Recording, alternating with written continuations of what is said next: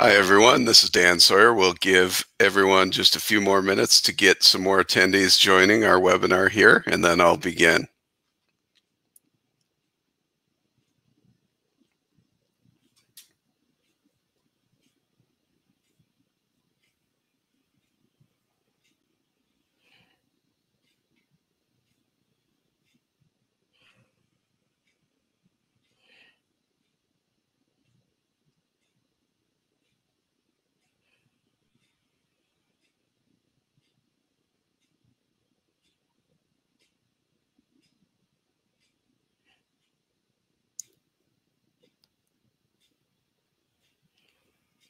All right. Again, this is Dan Sawyer, and you've hit the right place. If you were looking for printing consciously, considering sustainability and 3D printing, a webinar brought to you by NatureWorks. My name is Dan Sawyer, and I've been with NatureWorks now just over 25 years. I, you probably can pick up some gray hairs in in uh, my picture online, and maybe even in the webinar.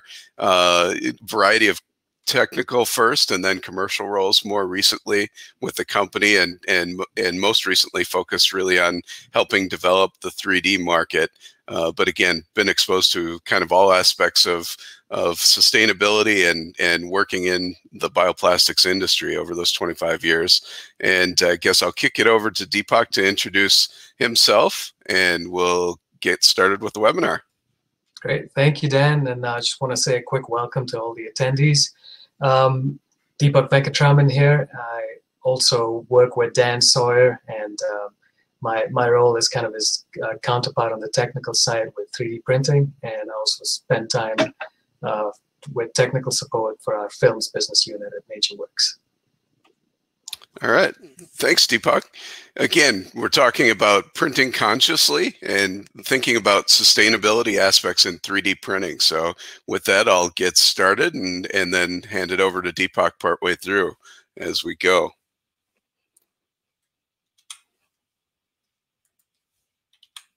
There we are. All right. So when people think about sustainability and and the plastics world, they really envision things like uh, ocean pollution, and we all see pictures of of fish or turtles being impacted by the plastics in the ocean. And we've found some information that's pretty interesting from the Pew Charitable Trust and Systems IQ, where they've done research and if you kind of look at these pictures down the left-hand column, uh, there's some pretty interesting statistics that they've developed. And, and they pointed out that without inter intervention or action, the flow of plastics into the ocean could triple by as soon as 2040.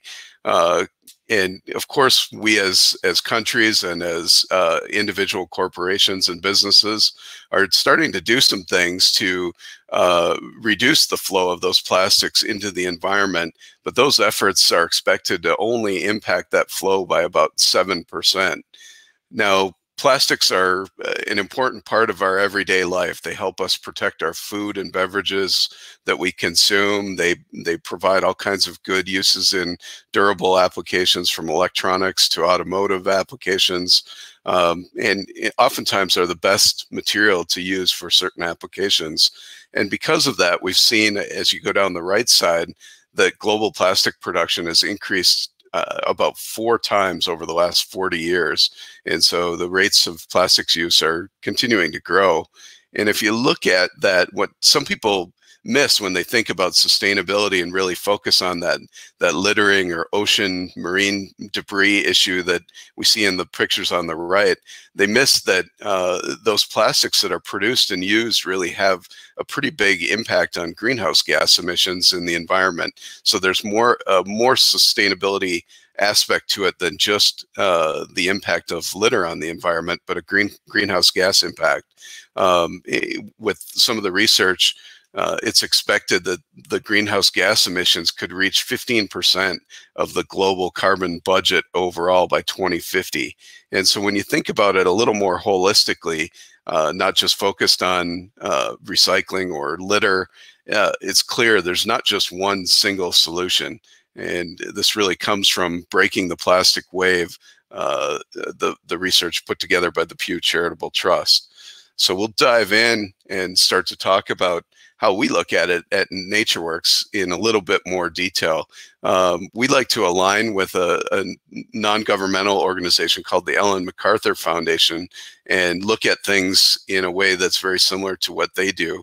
And what they've pointed out in some of their their work is that when you look at the infrastructure, it really isn't there to fully take care of uh, the plastics in the environment. Um, and we're seeing continued leakage of, of plastic waste into uh, waterways and into the ocean. And it's really, it's an expensive problem to try to solve. Uh, and governments trying to take that on, it's a, it's a big undertaking. Um, and with with the growth in plastics, we're seeing higher and higher greenhouse gas emissions. And so what they pointed out, and and we believe it, is that we really won't ultimately recycle or dispose our way out of plastic pollution in the environment. We need to do something more and so what what how they've looked at plastics in uh, in the environment and and the impact and sustainability is that uh, traditionally we've looked at things in very much a, a linear model where we're taking finite oftentimes petrochemical resources uh, out of out of the ground and and producing the useful things that we need for our life every day and when those things are used, uh, we're we're making it, making them and then wasting them, uh, wasting those resources by putting those products into landfill or incinerating them, or worse yet, uh, having them leak out as as pollution in the environment.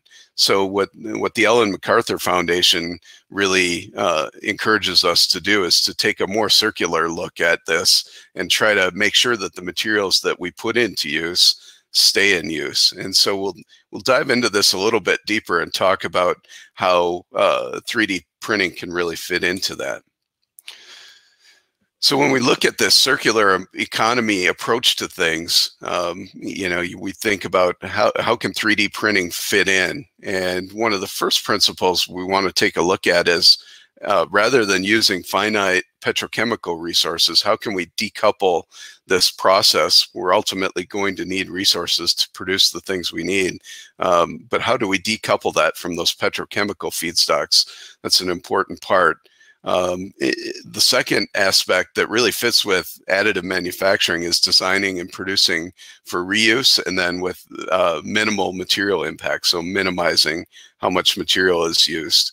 And then taking it forward, the area that I think a lot of people focus on is uh, what do we do with it after its use? And and so we'll we'll dive into that a little bit deeper and talk about what we can do to contribute and help create an effective after use uh, economy for those materials to ensure that they hopefully stay within that cycle.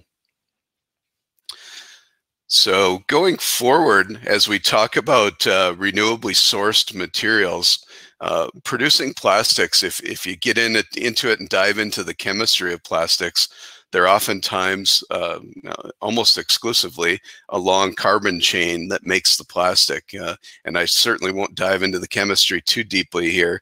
It's been many years since I since I was in school.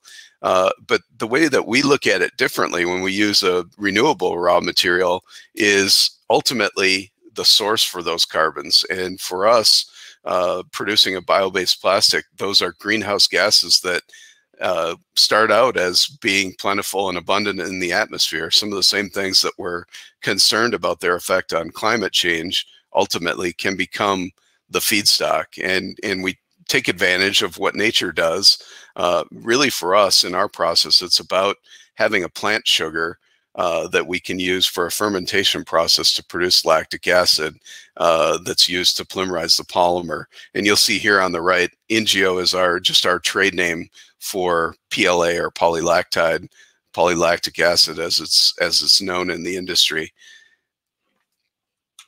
And so next I'll share a little bit of a graphic uh, that that goes through how we manufacture the polymer uh, using greenhouse gases ultimately.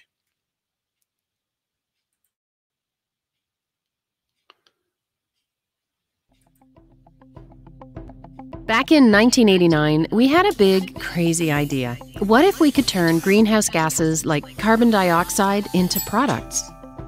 Nature does it all the time, turning carbon dioxide into plants, entire forests, and huge structures like coral reefs.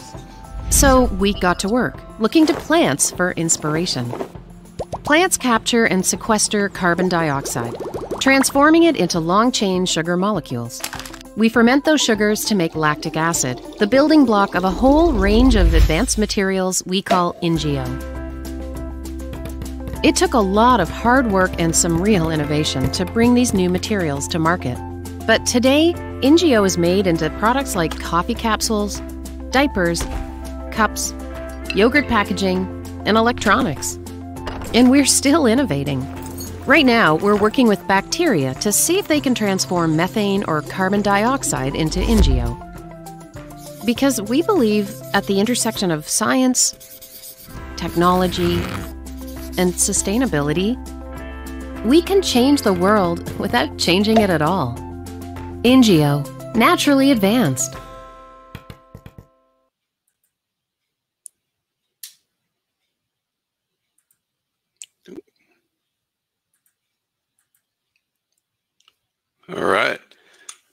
Wish I had the animation skills that uh, went into producing a video like that. I'll be flipping forward here. There we go. And so when we look at renewable based feedstocks, uh, part of the, the description that the Ellen MacArthur Foundation puts out there is that those feedstocks, if they're based on agricultural processes, really need to be sustainable in and of themselves. You can't you can't just choose a bio-based resource and ignore how it's manufactured in and of itself as a feedstock. So we look at uh, the United Nations actually has some pretty good criteria aligned with some of the fundamental principles of sustainability that focus not only on the environmental aspects, but also on social and economic aspects of sustainability. So the Food and Agriculture Organization of uh, of the UN actually has some pretty good uh, guidelines around that. And so what we do is we've actually gone out and contracted that our feedstock be certified by a third party and and certainly encourage you to dig in further and look at uh, what ISCC plus certification involves but that's what we've done with with all of our feedstock. And the important takeaway is really that they take a more holistic approach rather than just looking at the type of feedstock or the type of crop and and maybe the variety of crop that's grown. They look at how do we protect biodiversity the agricultural practices and how do they impact land use. Um, of course, environmental protection more holistically. Um, and then, of course, uh, the impact on greenhouse gases, but they also look at social aspects that include uh, the agricultural labor practices and how the farmers are going about growing the crop. And so it's not just enough to uh, decide which crop you think's best, but you need to look at things in the agriculture process more holistically. And uh, that's where we've gone out and had third-party certification that uh, that we're kind of taking a comprehensive approach to sustainability with our feedstock sourcing. And so again, that ISCC certification is over on the right side of the screen, but there are some other third-party certifications that we we utilize. And the reason that we do this, and I keep bringing up third-party certification, is you know you, any company can go ahead and make claims, but uh, based on as you saw in the video, a lot of science, we we want those to be based on good, sound scientific information. And so before we're going to go out and make a claim and, and and in fact the federal trade commission governs this and and has green guidelines that that they encourage good sound data and testing behind any kind of marketing claims that you'll make um, bio-based carbon certification is one that we do, very similar to uh, radiocarbon dating, where we can take a polymer or uh, or an article and have it tested, and they can tell if the carbon is new. So we'll go out and get that certified. Uh, tested first, then certified either here in the U.S. through the U.S. Department of Agriculture with their bio-based content certification labeling scheme, or TÜV in Europe that uh, that does a very similar certification. Um, when you look at the feedstock that we produce, uh, one of the questions that comes up is whether uh, there's genetic material in the in the polymer. Uh, we get we get some questions along those lines, and we're able to test and really show that no, through the process of manufacturing the polymer, uh, you lose any of that genetic material. So we do testing that verifies that again through a third party.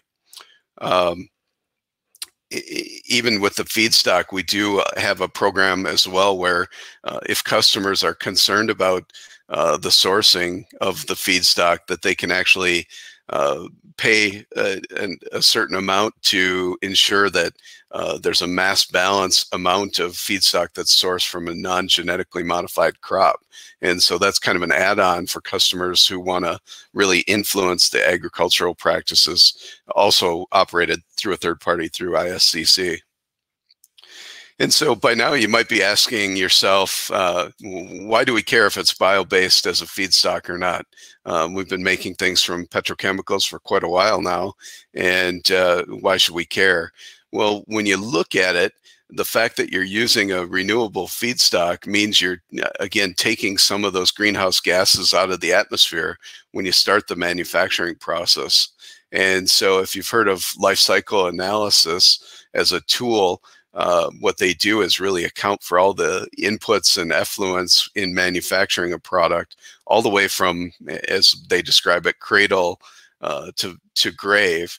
Well, when when we look at that whole process, really a, a big share of the impact is on manufacturing a polymer uh, in that life cycle.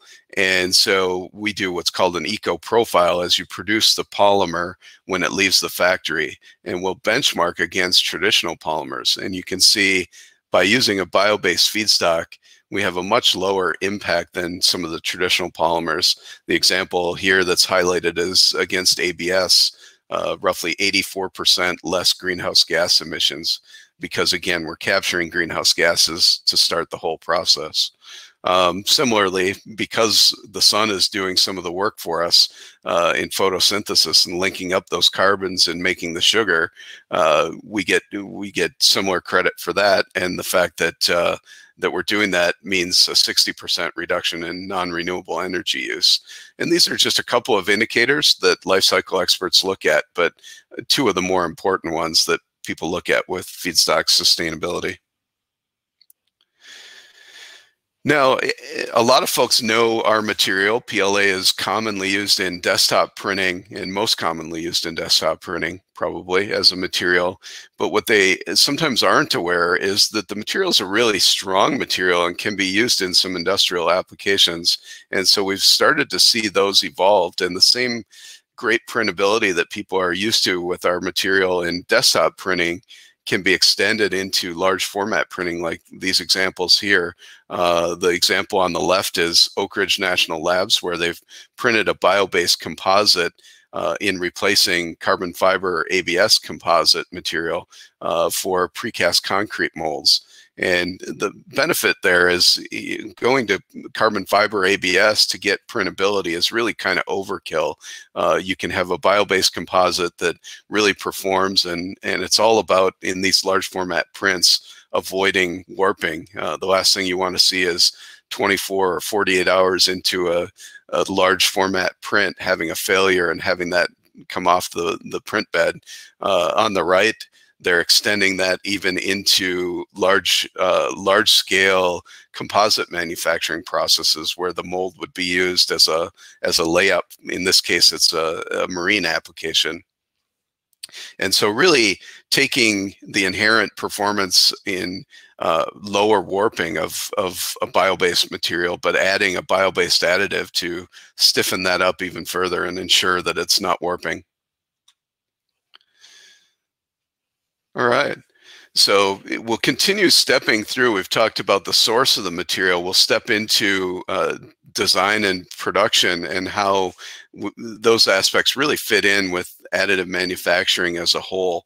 Uh, not so sp specific to our material, but just the additive manufacturing process really lends itself to those aspects of the circular economy just inherently and intrinsically um, additive manufacturing we all know it's very customizable. You can make designs that are just right for the application and oftentimes more complex than you can through traditional manufacturing uh, methodologies. And uh, the the process itself typically lends itself to uh, quicker production and development cycles and oftentimes can eliminate the need for external tooling that sometimes people overlook the impact of making the tools that we need to make the things we're making uh, in manufacturing. Um, uh, it also allows for on-demand production. We saw this with a lot of COVID response related articles that were printed. Um, and uh, in the end, it, oftentimes it all contributes to not only the environmental aspect, but cost saving uh, by optimizing the part design and reducing part waste uh, or printing waste. You can reduce the, the cost of manufacturing as well. So next, I'll jump into an example that really illustrates this very well. And uh, a lot of people have heard the, the sort of buzzword almost today, uh, design for additive manufacturing. And where uh, we think that's a really good example is when you look at a part like the one on the left here, uh, probably designed by someone with uh, kind of a mechanical engineering or machining background, I'm guessing, where uh, they're used to more traditional subtractive manufacturing techniques uh, and and really gearing the design to allow you to uh, machine out a part and have the resulting part have the strength that you need, but be something that you can really cut out of a bigger chunk. And so people will oftentimes start the additive, even the additive manufacturing with a, that kind of design in mind. But what they've done here is they've uh, applied uh, topology optimization and considered where the stresses and loads will be and uh, really allowed uh, that allowed them to design specifically a uh, design that still gives the strength required but minimizes the material used and and still results in the same strength that they need. And so you see not only less material use but probably a faster print time by not having to print quite as much material with the the optimized part on the right. And i think we have a more uh, user-friendly example of that that I can pop in here. Uh, this is a very common social media person out there. Tom Sanladerer is is uh, active in the additive manufacturing space, and he applied some of those principles in designing this bracket. Uh, I'm not sure what he was going to do once he got up onto his workbench, but obviously it displays or demonstrates that uh, with a fairly minimal amount of material uh, in this one being produced from PLA, you can produce something that gives you the strength uh, to hold a human. So very strong. All right. So I, I, think a lot of folks probably came into this thinking more about what we do next with the material after we produce it or or uh, print with it. And so we'll jump into some of those topics next because uh, if we're going to get all the way around the loop, we'll want to want to continue on. Um, so when we look at it, we'll first contemplate reuse uh, whenever you can reuse the material, you're going to have the, the least impact. And then we'll jump into what we call organics recycling and talk about maybe where that fits and where it doesn't fit. Um, in brackets, you'll see compostability. That's what we tend to describe it as. And then uh, we'll end up the circle uh, turning back on recycling, both mechanical and chemical recycling next. All right, so I didn't find super great uh, uses of uh, examples of reuse. I think they're still evolving, and we certainly look for more. Uh, but just reusing the plastic wherever possible is going to be the the most efficient and least impactful way we can uh, kind of influence the circular economy because uh, all the energy that went into making the plastic in the first place is conserved if we can reuse it as is rather than having to do a lot of reprocessing to get it into whatever we use it for next. So the example here, it kind of combines spools and some printed drawers for a storage unit. And then, uh, of course, with uh, not too far down the road. Uh, the holidays coming up, you can always use reuse your spools as is to wind up all kinds of things like uh, decorative lights here.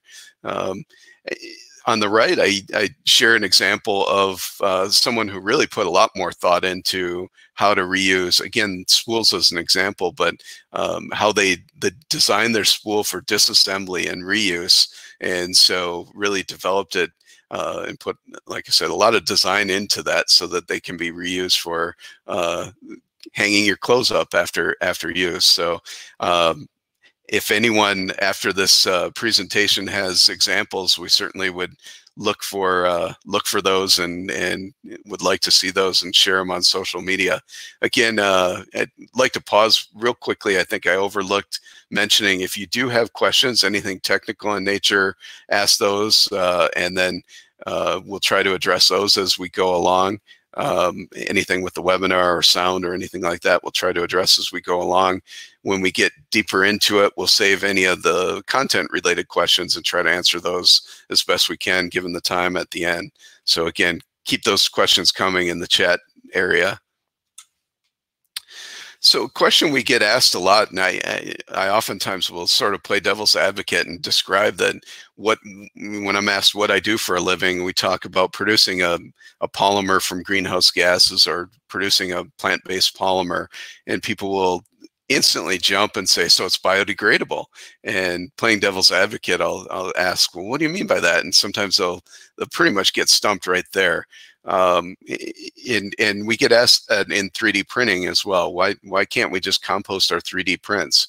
And so we really have dug into this and and certainly experienced it in a number of our other markets. We do a lot in in um, food serviceware, and and you see some flexible bags here that we can be a component in. Um, and the value that we found in some of those markets really is making it possible to divert that food waste, get it away from a landfill or uh, an incinerator where it can have negative consequences on those waste streams and instead save the value that's in that carbon and reutilize it in producing good compost. And so composters are really looking for a good, clean feedstock. Um, they'll take certified compostable serviceware, but only where it brings them that valuable uh, either food waste or on the right, these are Ingeo coffee capsules uh, carrying the coffee grounds. So um, they're not really looking for plastics. They'll take them if it's really easy to identify and it brings them that valuable feedstock. Next, it's important to understand that biodegradable and compostable aren't necessarily exactly the same thing. Biodegradable is kind of a higher level term that just says something will biodegrade over kind of an undefined period of time and eventually go away. And while that's interesting, uh, the value is somewhat limited. Uh, at the rates we're using plastics, that really doesn't provide us a good solution to use and then get rid of and ultimately recapture the carbon and reuse it uh, in a reasonable period of time. So there really is no certification test for biodegradability on its own. The process for breaking PLA down is, is really a three-step process where first the polymer gets broken down by heat and moisture uh, to smaller and smaller units that become more like the lactic acid we start with. And once it, once it gets down to small lactic acid units, then microbes in the compost can consume those and produce CO2. And, and ultimately the result is that you break down to, you know, water, CO2, and usable compost when you couple that with organic material. And so, you know, when we get asked about compostability, and I, I, know the Biodegradable Products Institute, that is the certification body here in the, US for composting, has a decision tree that they developed. We keep it even more simple and sometimes ask the first question uh, Does this article really enable organics recycling? And so when you when you ask that question, if the answer is no, we really feel like pursuing recycling options are probably a better answer than trying to pursue composting. When you look at, uh, you know, if the article is something that would bring valuable organic material to uh, the composters, then you got to go through and do the the testing, which includes four different tests. There you can see disintegration testing. You analyze the heavy metal content of the of the polymer, and then do uh, uh, biodeg biodegradation testing that looks for full conversion to CO2, and then ultimately look at how does that compost affect uh, growing organisms, so ecotoxicity. And when you go through that process, um, you, you, get all those test results and then submit those to a third party that would do the certification. And so when you look at that, having all the testing work done, um, and then being a member of the organization or paying an uh, organization fee, you're you're looking at something like ten to fifteen thousand dollars, and that makes sense if you're producing huge numbers of the same type of part, and you can use that certification. But it isn't really aligned with uh, with additive manufacturing, where the beauty of our industry is that we can produce one-off, uh, unique, customized and limited production parts. So um, really important that we think through this this flow chart and process and ask ourselves, is this really the best end of or after use for the carbon in the polymer? Yeah, just some examples here uh, on the left, a gimbal that was produced with with uh, one of our grades, 3D870, a very complex part, and on the right, a very large part um, that uh, was produced by Spectra 3D using Stacker printers, uh, some of our friends here in Minnesota. But you can tell these are very large parts that really won't fit with the the scale and size and, and clearly won't bring the organic material that composters are looking for. So next, uh, I'm going to take a pause here and throw things over to Deepak, and he's going to dive into uh, the after use that starts to talk about recycling, both mechanical and chemical. So Deepak, if you're ready, I'll kick it over to you. I'm ready. Thanks, Dan. Uh, before I start, I just want to uh, remind the audience, yeah, to keep uh, you know adding questions to the sidebars there. We see some great conversations going on on the side there, which is all good. Uh, but please go ahead and add your questions too. Um, so Dan's already kind of uh, touched on a couple components of this uh, circular economy diagram, and I'm going to be talking about the uh, mechanical recycling portion of it. Next slide, please. Thank you. Um, so when you think about mechanical recycling, uh, the sources of where the, these materials come from can typically be divided into two buckets, your post-industrial waste stream or your post-consumer waste stream. And by looking at the uh, photos on here, it's pretty clear what the big differences are between the two. Uh, post-industrial, think of material, waste material that's generated on the uh, on the shop floor in a factory, for example. So your transition filaments, your uh, off-spec filaments that kind of end up on the floor. Um, in this case, it's a picture of some film on rolls even though it's waste material, it, you can tell it's kept uh, pretty secluded, kept clean, so the, the, uh, possibility of polymer cross-contamination is low, and um, it can be very easily brought back into the uh, into the main process and uh, combined with virgin material. Post-consumer streams, on the other hand, you can see from that picture, you can expect to get um, a variety of plastics because of the way it's collected. So the best way to think of th think of this is the stuff that you put into your uh, recycling bins. For example, it's a it's a mix of plastics. You can have food waste in it, non-plastic contamination. So it's a little bit of a, a, a collection nightmare and a sorting nightmare for uh, people involved in this. So needless to say, the end product that you get, your recycled material that you get out of this, uh, is heavily dependent on how, how much effort you spend on the reprocessing side. And this can, of course, the more you put into the reprocessing, the more expensive it can become. Um, and depending on how much contamination is in the stream, the final performance of your part that you fabricate out of this recycled stream um, could be variable. But within the uh, circular economy model, both of these are uh, equally important streams to consider and to try and keep in that loop that uh, we've been showing this time. Next slide, Dan.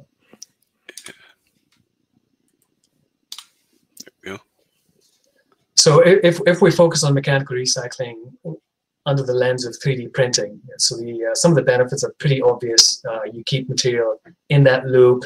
You can bring it back, uh, use it with virgin material, with uh, lower energy input, and uh, these recycling processes are, you know, technically they've been proven out. They're very feasible for typical materials used in 3D printing, like the PLAs, your PETGs, and ABSs. Um, these can also be extended to, say, uh, thermoplastic powders that are used in powder bed fusion type printed platforms. Uh, they can very easily get recycled as long as they're handled correctly between use and when they're brought back in. Um, it, it, can also extend the manufacturing process that they can be used in. So, for example, the filaments that you make for um, that might be off spec or wide spec, they can always be chopped down, converted into pellets again, and used in injection molding, for example, or vice versa. You can have thermoforming applications where once the uh, part is thermoformed, people can take the edge trim, flake it, grind it, repelletize it, and make 3D filament out of it, for example. So those are the benefits. Um, these obviously come with challenges, as I'm sure a lot of a lot of people in this audience are aware. Um, you know, the, the, quality of the material that you get is is very dependent, like I mentioned earlier, on how well it's collected and how well it's reprocessed. So it's basically, you know, your your output is as good as your input. Um, and the other challenge that we face is the current infrastructure isn't really set up to accept uh, 3D printed parts or additively manufactured parts. What they typically, what the recyclers typically want is uh, your HDPE milk jugs or your PET bottles, your clear bottles. Think of uh, your water bottles or your Coke bottles that, that go through the recycling process. Um, and just by virtue of additive manufacturing being relatively uh, new industry, the volumes that uh, we generate aren't typically enough to justify economies of scale, um, while that will come as additive is adopted wider. Um, today, it's not as big as some of the other forms of manufacturing. But regardless, that's not to say that there aren't uh, avenues where you can get clean, uh, you know, source separated materials uh, that are recycled and uh, that you can use back in the loop. Um, and we're highlighting some of these here. So closed loop venues are one where you basically have control of what material comes into your uh, venue and what leaves. So you can have a very pure stream, very clean stream of uh, plastic waste coming coming out of that venue. Um, post-industrial scrap, like we've already talked about, is is a very common way or a very common source to obtain clean uh, a clean material stream. And then uh, print service bureaus would be another option um, where it could essentially be acting like a, a, a centralized collection agency because of uh, all the filament and the parts that they make um, and all the uh, raw materials that go. Basically have one site where all of this can be collected and you could potentially get materials from, from these service bureaus and reprocess them. Slide there.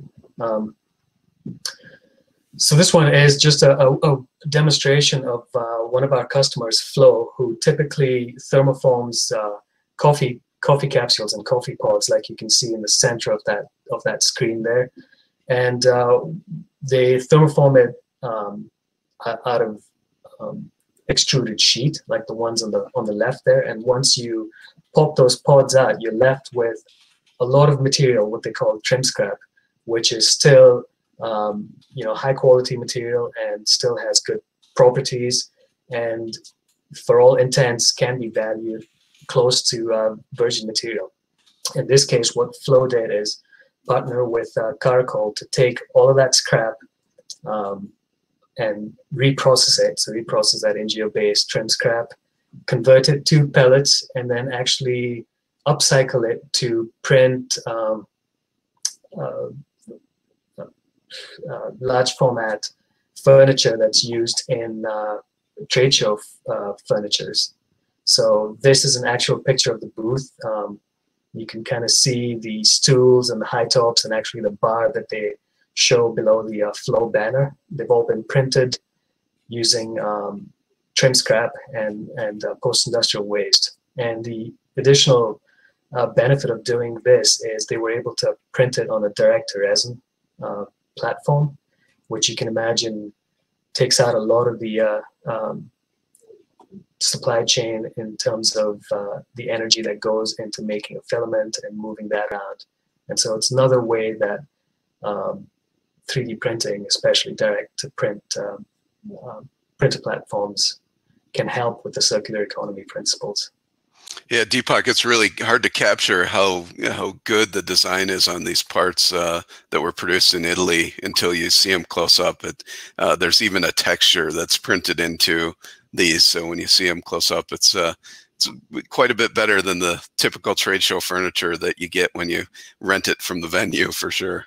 For sure, and and we actually did have one of these in our booths. Uh, just to add to Dan's point, we did sit on those stools for hours, and you know it uh, makes a big difference. They are actually pretty comfortable and designed well to, you know, uh, have functional use. All right.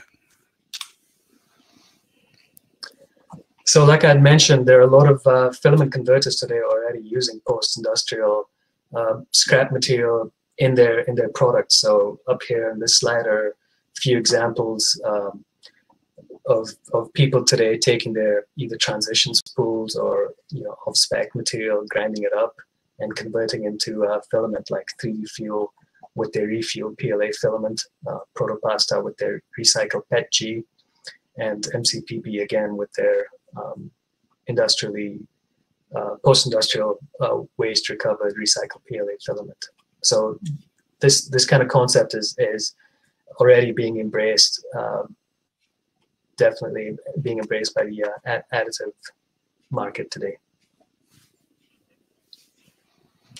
Uh, this is an, another example of a, of a case study where we um, partner with uh, a few of our downstream customers and really wanted to demonstrate how in a closed loop venue materials, plastic materials can be uh, reused and um, really create an after use scenario with with the in this case the cups that were used at the uh, lowlands festival. So the concept here was especially when there isn't an outlet for organics uh, collection or, or composting collections we can still take these Ingeo cups uh, recycle them um, reprocess them and convert them into uh, you know upcycled um, articles like an injection molded uh, headphone that Tecnaro did and uh, 3D filament as well. And what we were also able to show was um, how you can really create, um, you know, a, a viable uh, after use scenario in the context of a closed loop venue.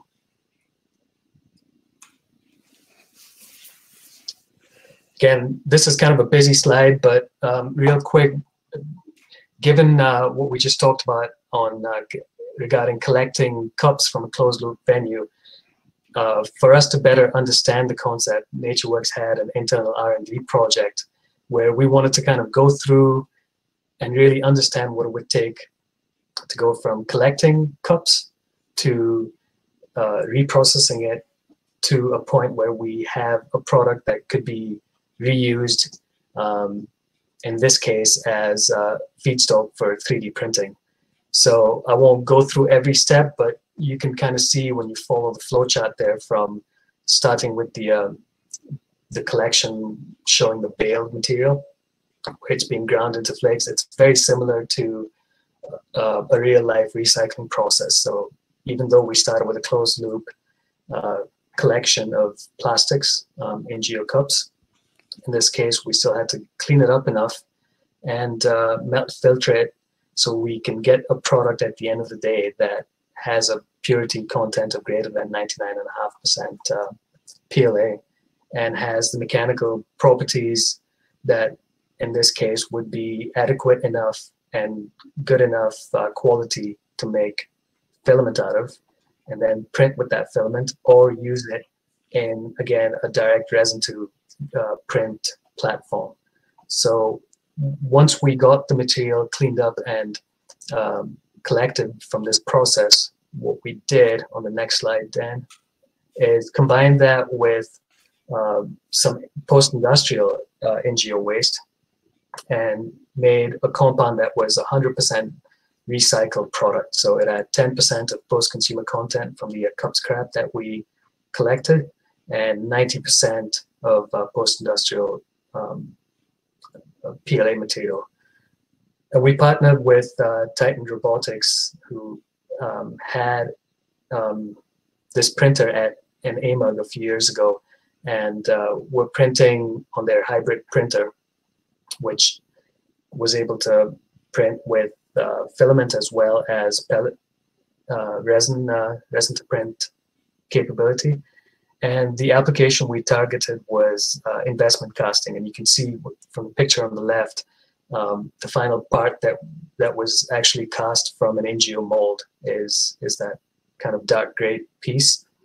Uh, in the middle there is uh, just Dan next to the printer, just to show you the scale and the size of that printer, and kind of um, um, how it's printing the finished part that is then shown on the uh, uh, picture on the right. So the blue um, portions of that printed part is the uh, the recycled PLA compound, and the kind of off-white part on the bottom uh, is the Ingeo 3D450 support material that was uh, printed using a, a filament-fed uh, extruder head.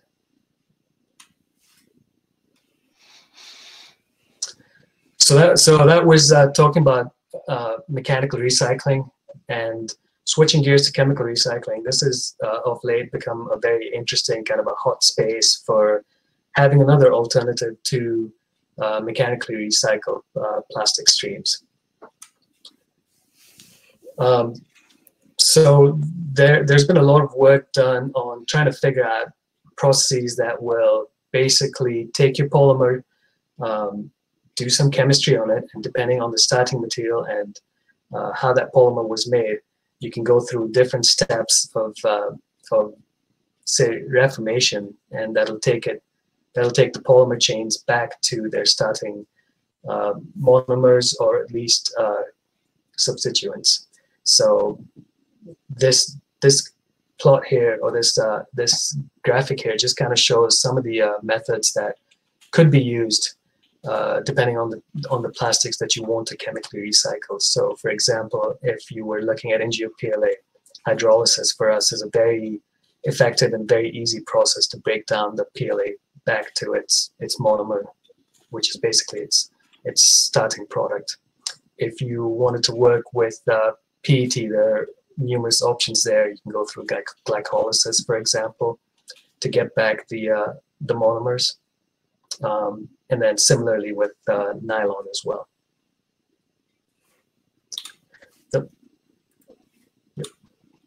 there we go.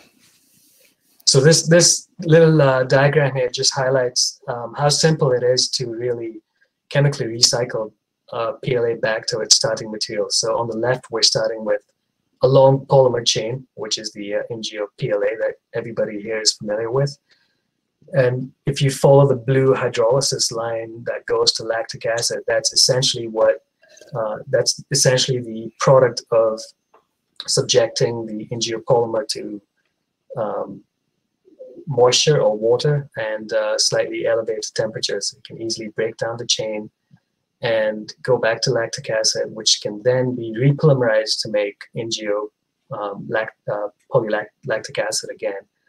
And in theory, this would kind of be an infinite loop of, uh, you know, depolymerization and polymerization, and you can kind of keep going um, with this process because it is such a simple and easy step for uh, for Ingeo.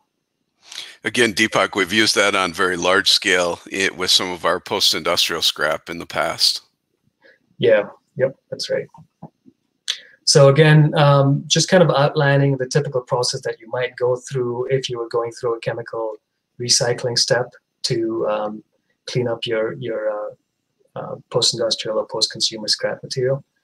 If you kind of look through this flowchart, and I won't go through it again, uh, it's very similar to a mechanical recycling on the front end where you kind of have to bring in your material, clean it up a little bit. In the case of PLA, um, we can use hydrolysis, like I mentioned, to really break down the components um, to its its uh, its starting point. You can purify that, and if you continue the purification process, you can take it all the way back to lactic acid, which, like I mentioned, can be used as a starting material for polymerizing PLA, or you can uh, functionalize it to use in um, higher value applications such as making ethyl lactate solvents that you know get used a lot in the uh, electronics industry. The other thing you could do if you stop at the purification step, um, you can make lactide, which is the actually chemical intermediate between lactic acid and uh, the polymer PLA, and you can functionalize that as well, as is the case um, with eSun's uh, e-resin, which is a it, the lactide becomes a component of that photocurable system. Next slide, then. Should be there. Yep, thanks. And, uh, you know, this just to show how easy the hydrolysis process is and how you can chemically uh, easily recycle back uh, PLA.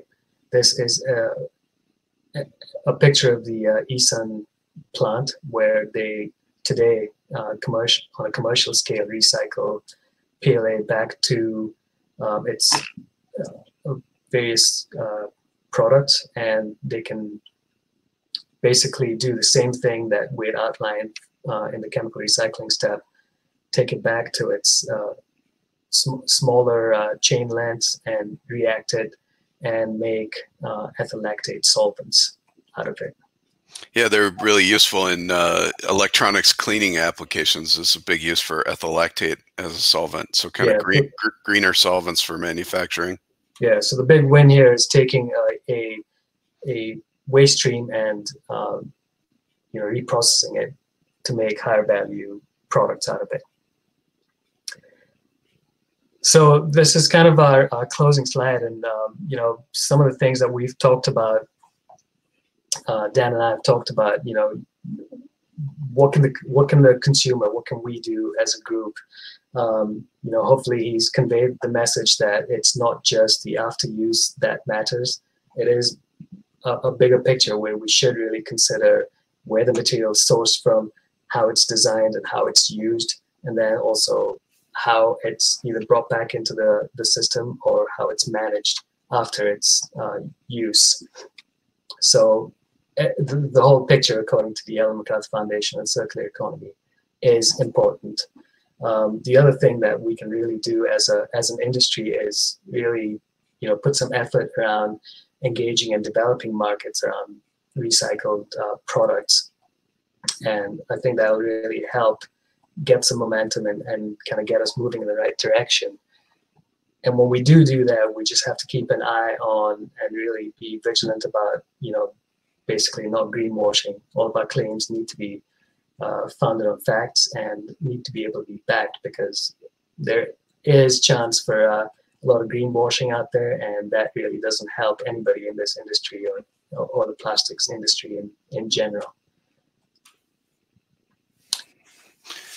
All right. Well, thank you, uh, Deepak. And with that, uh, I know some questions have come in in the chat for sure, and I've tried to answer a couple when I was uh, off duty and and just running the slides for Deepak. But uh, one that I saw that was a good question is uh, around uh, compostability and biodegradability. Again, we don't see that as a great fit in additive but uh, the question was around uh, uh, around how additives can impact that, and it's certainly something that needs to be considered. So um, another challenge, maybe if you were trying to do 3D uh, printed parts, is the fact that people are putting different additives in, whether they be colorants or other materials. All those have to be considered. So it has to be the final part and the final formulation that is evaluated when you go through the testing and certification process. So it's it's certainly another thing that can influence. Uh, frankly, additives can influence and are eh, a big factor in the recycling. When you look at the cleanup processes that Deepak described, uh, they they have an impact there as well. So um, keeping a, a, stream as clean as possible, uh, and then uh, making sure that it's adequately cleaned up as it's being recycled is definitely the challenge that leads to the need for those high value outlets that uh, I think there were some good discussions on, you know, where people were at in the chat, uh, depending on their location locally and what they're able to do. Some had some outlets that were kind of more along the lines of reuse. I, I think in South America, where uh, some of the scrap materials were being donated for producing art, and and uh, I, we'd like to look at it. We've seen some pretty cool art produced via additive um, and, and, mimicking nature wherever possible. That's that's pretty cool application for it. Uh, we oftentimes forget the the STEM science, technology, engineering, and math uh, oftentimes needs to include the A, the art form, and and uh, you know, like I said, wherever we can, nature inspired on the art form. Again, um, just technically speaking, we are recording the webinar, and we'll make that and the slides available after after the webinar. Uh, we apologize to anyone that uh, we didn't use great examples of. Uh, certainly, only a limited amount of time, and we've done a lot of great work with a lot of great uh, converters that are making filament and making formulations out of our material out there. Um, I, I, would say uh, really just encourage everyone to continue the collaboration. We saw that begin here on the webinar with people chatting back and forth um, wherever wherever possible. Encourage that, share uh, good uses, good recycling case studies uh, that help us keep those materials in use aligned with this circular economy. Um, I, I think we've answered a lot of the important questions out there. And so with that, I think we'll we'll uh, call this a day and appreciate everyone joining us on the webinar. And uh, again, uh, engage with us via social media, uh, Twitter, uh, LinkedIn, uh, even Facebook. We're we're out there um, and and be engaged with each other and with us and we'll look forward to collaborating with you all on uh, uh, keeping materials more circular. Thanks again. Yeah, thank you, everybody. Thanks for joining. And I was just going to add, uh, feel free to reach out to us if you had any questions that we, you know, maybe didn't get to address here, or if you had any uh, questions or comments regarding anything we presented to. So, always, always uh, good to kind of connect and uh, meet with the users and people in the market. All right. Bye, all. Thanks again for joining us today.